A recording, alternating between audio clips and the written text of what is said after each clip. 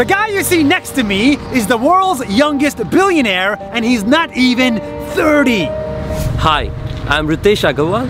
I'm 26 years old. And this guy doesn't come from New York, doesn't come from California, doesn't come from Sweden. He comes from here, Rayagada, India, a city where most people make no more than $10 a day. For the first time ever, I want to share with you the incredible success story of the world's youngest billionaire.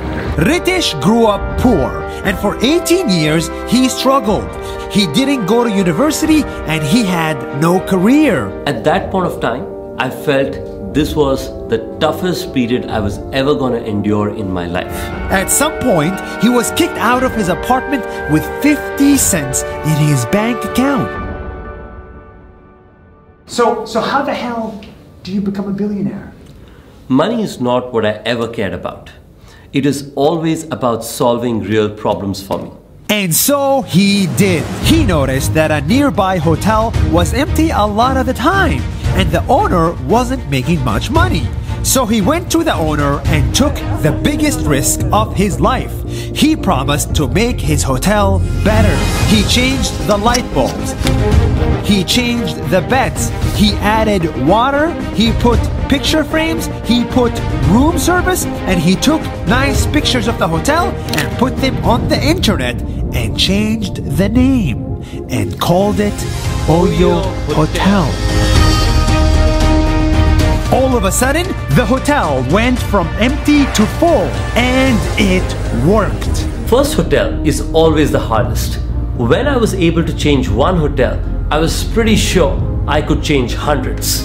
At age 20, he raised money from investors. At age 21, he hired 50 people. At age 22, he had 500 hotels. At age 24, he raised $1 billion. And at age 26, right now, he has 46,000 hotels and built the second largest hotel chain in the world. And he's not even 30 years old. Many people told me multiple times go to university, seek help from parents to make sure that you can do that. This is just not going to work. That's crazy. Think about this for a second.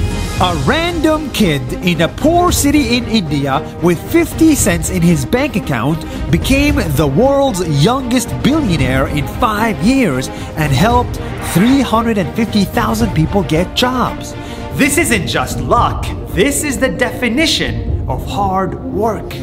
He worked at night, he worked on weekends, he knocked on doors, he guessed people's emails, he begged to get meetings, and he succeeded even when all the odds were stacked against people that looked like him.